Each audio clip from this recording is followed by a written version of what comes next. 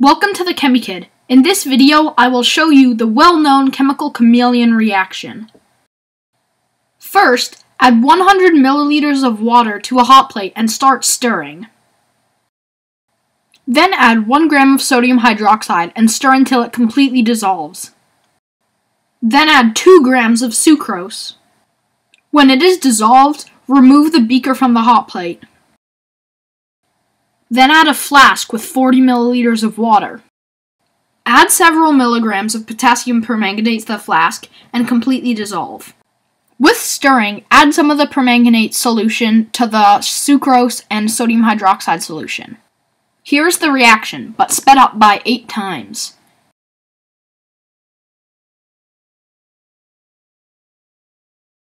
If you wish to see the reaction in its fullest, here it is. This reaction occurs when the sucrose and sodium hydroxide mixture reduces the manganese 7 to lower oxidation states of manganese. With this comes different colors.